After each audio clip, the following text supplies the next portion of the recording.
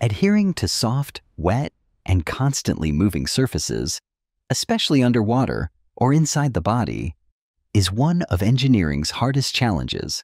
Conventional adhesives fall short. They're too weak, too slow, or simply incompatible with the environment. Nature found a solution.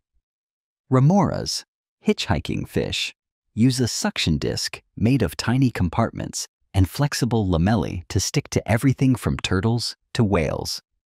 This inspired our team to develop MUSAS mechanical underwater soft adhesion system, a soft bio-inspired device that brings Remora-level adhesion to the lab, the clinic, and beyond. MUSAS mimics the Remora's adhesive disc with shape memory alloy lamellae that actively deploy in response to body heat. It forms dozens of tiny suction compartments and interlocks with soft, uneven surfaces without any motors or glue.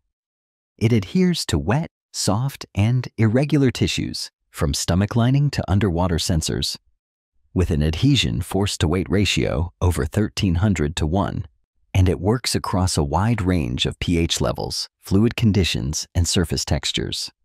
We've already used MUSAS to monitor temperature on swimming fish, detect acid reflux without invasive clips, deliver HIV prevention drugs for days, and enable mRNA therapy at mucosal surfaces.